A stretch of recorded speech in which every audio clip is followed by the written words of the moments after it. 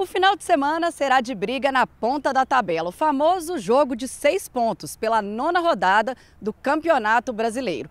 Com a mesma pontuação, líder e vice-líder se encontram pela primeira vez no ano e a expectativa é de um grande jogo.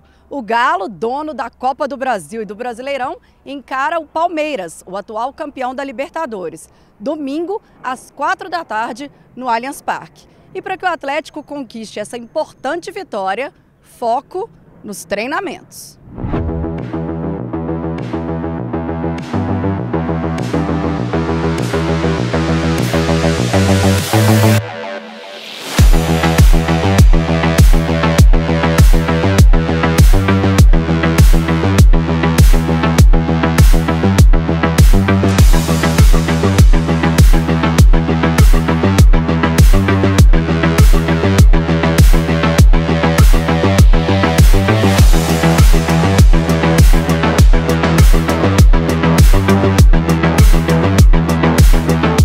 Ah, é um jogo muito importante, um jogo que todo mundo quer jogar.